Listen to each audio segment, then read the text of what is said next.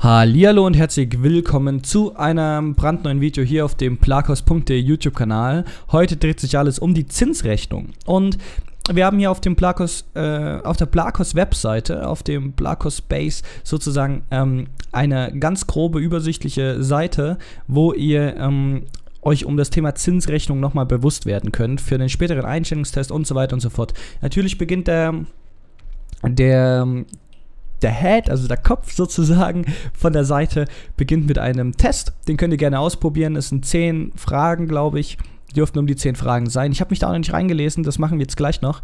Ähm, ganz kurz noch im Voraus, ihr könnt natürlich selber auf die Seite gehen. Die Seite heißt einfach zinsrechnung.plakos.de. Das ist der Link dazu. Der Link ist natürlich auch unten in der ersten Zeile in der Videobeschreibung. Klickt da gerne mal drauf und schaut euch das an. Es ist alles kostenlos. Ihr könnt natürlich euch auch weiterbilden auf Plakos und ähm, für ein gewisses Geld, für einen kleinen, schmalen Taler, könnt ihr auch ähm, weitere Aufgaben dazu, in Anführungsstrichen, buchen oder dazu kaufen, wo ihr euch, wenn ihr euch äh, der Sache bewusst seid, dass ihr das wirklich braucht und ihr dann auch Nachhilfe braucht, da könnt ihr natürlich gerne reinschauen und ähm, schauen, ob ihr da eventuell noch Alternativen habt, um mehr Wissen zu generieren auf der Blackout-Seite. So, wir schauen hier jetzt aber mal trotzdem kurz durch. Wie gesagt, alles komplett kostenlos. Ihr habt hier eine kleine Erklärung zum Thema Zinsrechnung. Natürlich hier auch nochmal die Grundlagen zum Thema Zinsrechnung. Es gibt nämlich proportionale Steigerung und eine überproportionale Steigerung und so weiter und so fort. Das hat damit zu tun, dass es eine einfache Zinsrechnung gibt, eine ohne Zinseszins, bedeutet, ihr bekommt immer 5% oder 3% oder 4% auf einen festen Betrag und das ist ein fixer Wert.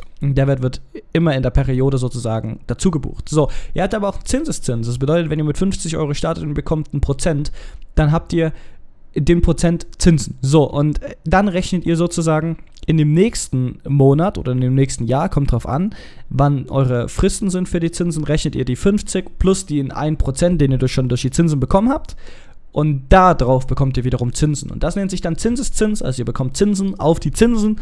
Und ähm, muss man sich auf jeden Fall mal ein klitzeklein wenig einlesen. Aber das ist hier sehr, sehr gut beschrieben.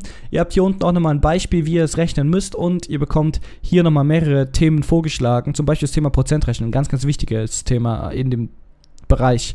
Ähm, ihr habt das Thema Mathe-Test, auch wichtig. Und Zinsrechner online mit Zinseszinsberechnung, auch ganz, ganz spannend.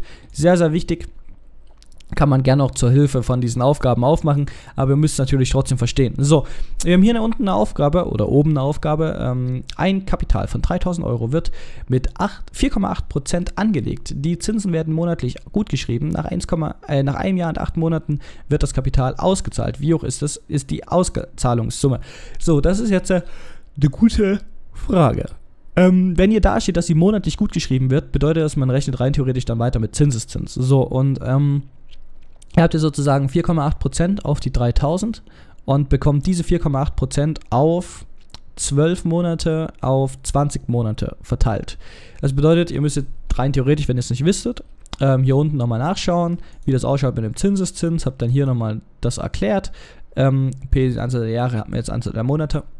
Aber in Summe könnt ihr das ganz gut auch mit den Rechnungen unten dann erklären. Ich versuche mich jetzt gar nicht groß reinzurechnen. Ich überlege mir jetzt einfach mal ganz kurz, wir können mal ganz kurz in den Rechner reingehen und schauen einfach mal ganz kurz, wie viel 4,8% sind. 3000 mal mal 0,048. Das bedeutet, ihr bekommt 144 Euro pro Monat dazu, was heutzutage nicht mehr ganz realistisch ist. Rechnet man das dann mal 20 habt ihr einen sehr, sehr groben Überblick, ähm, in welche Richtung sozusagen euer Ergebnis gehen müsste.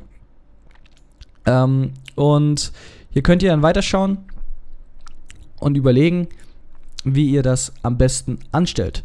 Ich würde mal sagen, ihr habt hier natürlich die Möglichkeit, ähm, euch das gut zu überlegen.